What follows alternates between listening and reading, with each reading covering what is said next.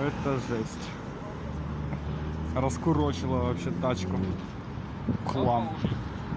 Volkswagen Passat.